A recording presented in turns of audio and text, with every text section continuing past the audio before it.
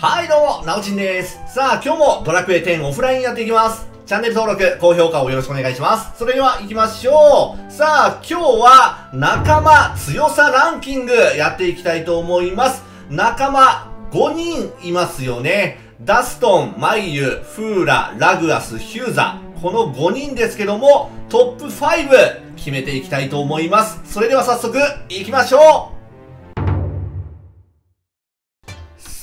最強キャラクターランキング最下位の第5位からいきましょう。第5位は、マイユですね。マイユは最後の方に仲間になるので、ちょっと強いんじゃないかなって期待してたんですけども、うーん、そうでもなかった。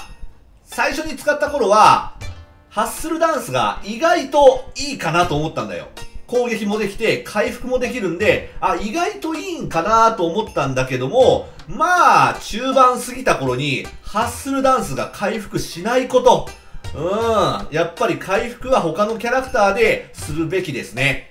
で、攻撃もね、中途半端なんだよね。そんなに強くもないし、まあ弱くもないなっていう感じで、うーん、別に入れなくてもいいかなっていうところです。まあ、ただ、爪スキルのゴールドフィンガー、これだけは、まあ、使いどころはあるかなと思います。あの、良い効果を光で吹き飛ばすっていうやつなんだけども、これだけは、まあ、使えるのかなと思いますけども。うん、まあ、今のところ、俺は入れませんね。第5位は、マイユです。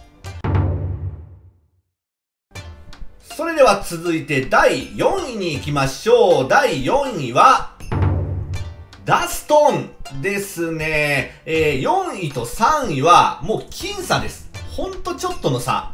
で、一応4位にダストンを選ばせてもらいました。えー、ダストンはね、デバフが強い。うん、デバフいいね。やっぱりルカニがとにかく便利です。もうルカニ要因でダストンを最初の方は入れておきました。で、中盤過ぎた頃に、えーとね、ゴッドジャグリング覚えるんですよ。このゴッドジャグリングが、ほぼ100%敵の攻撃力を2段階下げることができるので、もうデバッファーとしてかなり使えるキャラクターですね。ただ、攻撃力が低めです。低め。で、スタンショットとかがあるんで、まあ、そういうので敵の足止めなんかもできるんだけども、まあ、基本的には、うーん、ルカニと、ゴッドジャグリング。その二つでしか使わないかな。うん。まあでも、こいつがいるだけで、結構攻略が楽になったとこもあるので、えー意外と俺は好きですね。うん。まあ遊び人のスキルみたいなのも、たまに役に立つことがあるので、うん、そこもまあ、プラスポイントではないでしょうか。でも、ダストン、4位です。残念。それでは最強キャラランキング第3位に行きましょう。第3位は、ヒューザですね。えー4位のダストンと、まあ、0.5点差ぐらい。まあ、ほんと僅差だと思ってください。ヒューザですね。えーいいところは、新刃砕き。で、敵の攻撃力をもうほぼ確定で2段階下げることができる。まあ、これにつきますよね。まあ、ものすごく使える。でも、それだと、ダストンとそんなに変わらないじゃないですか。ヒューザは、これプラス、えー、投稿無知があります。えー自分で調整しながらテンションを上げることができるので、すごく使えますし、えーダストンよりも攻撃性能が高いので、えーダメージも取れるので、まあ、そこがいいところですね。で、さらに、このヒューザ必殺技が強い。必殺技がね、とにかく便利なんですよ。えー攻撃力が高い必殺技も揃ってますし、えーそれを2回打った後に、クリティカルアーツっていう必殺技。これを使えばめちゃくちゃいい。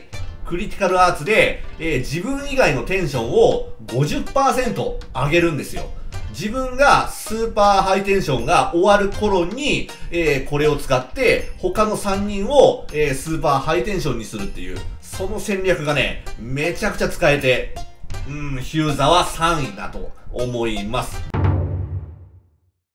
さあ、次に行きましょう。最強キャラクターランキング第2位です。第2位は、ラグアスですね。えー、最後の最後に仲間になるんですけども、めちゃくちゃ使えます。もうラグアスは絶対に入れた方がいいですね。まず、回復とバフ。この二つに特化されてて、めちゃくちゃ強いです。えー、まずはスクルトだね。スクルトは間違いない。どこでも使っていけます。えー、そしてフバーハ。使えるところではめちゃくちゃいい。そして、ベホマラーだよね。ベホマラーは、えー、ラグアスのみ使うことができるので、すごく重宝します。で、ベホイムで、えー、ものすごい回復することもできるので、まあ、使い分けができるっていう感じですね。そして特技が強いですよね。聖なる祈り。これで、えー、ベホマラーの回復量が倍ぐらいに上がるので、これは絶対使えるよね。そして必殺技もいい。ピンクルバトン、テンションを、えー、仲間一人だけども50%、えー、回復させてあげるっていう、とんでもない必殺技もあります。そして、ラグアスだけの必殺技、メギストリスの祝福。これがいいんだよね。もう最強バフだな、これが。これをつけてると、まあ、死ぬことはあんまりないですね。ラグアスを入れない人は、ほぼいないんじゃないですか？ということで、ラグアスは第2位です。それでは第1位に行きましょう。第1位はこれ満場一致だと思います。第1位は、フーラですね。これはもう絶対間違いない。まあ、とにかく、えー、攻撃力が高い。もう最初の頃からすごい使えますもんね。で、途中ぐらいから特に強くなるのが、えー、煉獄火炎だね。特技の。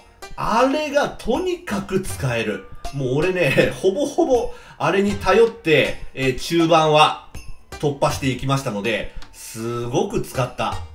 そして中盤過ぎからものすごく役に立ってくるのがバイキルトだよね。あれは使う。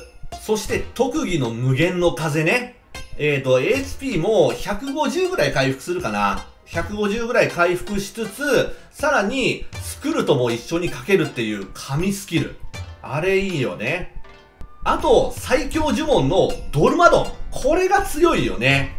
スーパーハイテンションになったら、もう間違いなくドルマドンを3発撃っとけば、うん、強いです。で、呪文が2回発動することができる、あのー、特技も持ってるじゃないですか。あれも使えるよね。まあ、とにかく、これは満場一致で1位だと思います。フーラは間違いなく1位です。はい。ということで今日は最強キャラクターランキングやってみました。またね、アップデートとかダウンロードコンテンツが来た時に変わることもあると思います。でも、まあ発売から3日、うん、使ってみた感じ、こんな感じだと思いますよ。